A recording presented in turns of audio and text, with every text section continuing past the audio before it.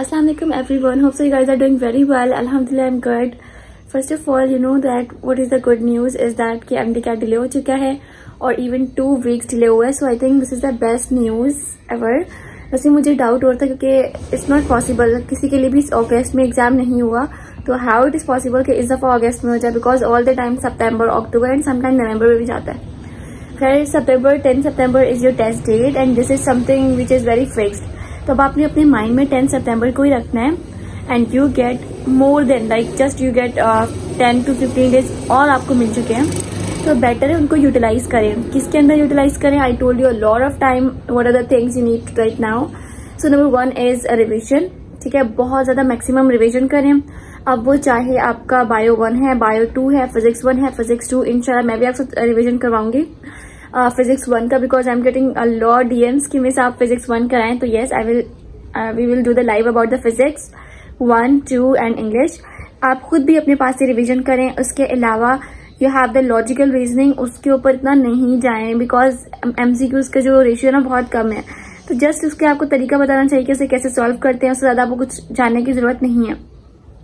Once you done doing the logical reasoning English English की मैं आपको लाइव कवर कराऊँगी। इंग्लिश में आपका, मेरा आपसे प्रॉमिस है इन ताला मैं आपको इंग्लिश पूरी कवर कराऊँगी, पूरी।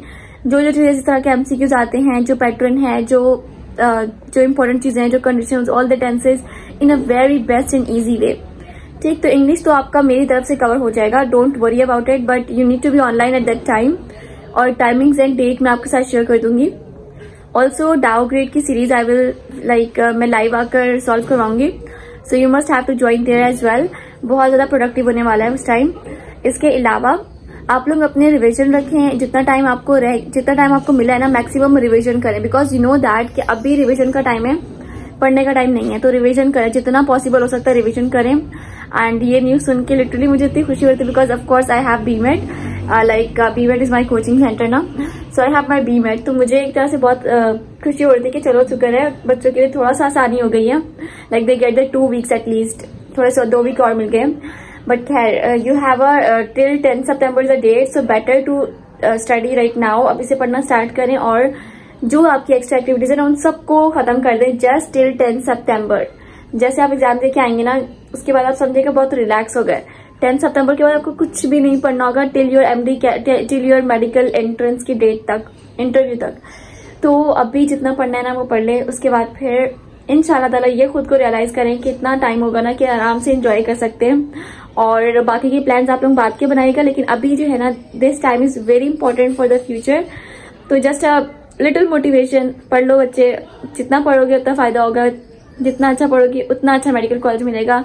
Also with the study you must have to pray ठीक है तो आप भी बहुत सारी कीजिएगा। अपने लिए भी बहुत सारे, अपने पेरेंट्स को भी बोलें। So this is all what you need और इसके अलावा the test session about test session test maximum solve करें। B made is going to announce the test session as well so you guys can enrol yourself in B made test session जो कि 18 अगस्त से start है। May be मैं date extend कर दूँ like date set कर दूँ चेंज कर दूँ। But whatever it is it is a test session जो कि हमारे बीमेट बीमेट में होगा।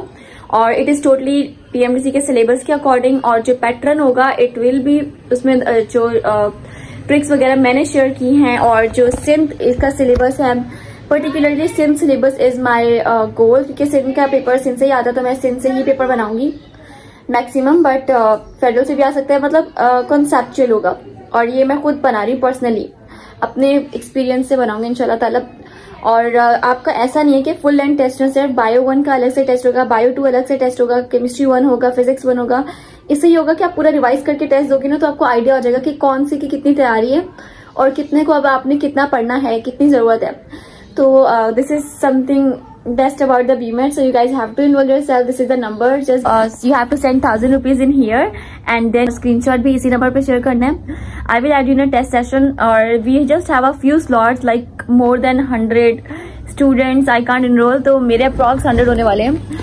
So better to grab your seat quickly. Allah Hafiz, take care and again best of luck everyone remember me in your prayers और इनशाला मैं भी आपके लिए दुआ कहूँ कि बहुत अच्छा एग्ज़ाम हो जाए अल्लाह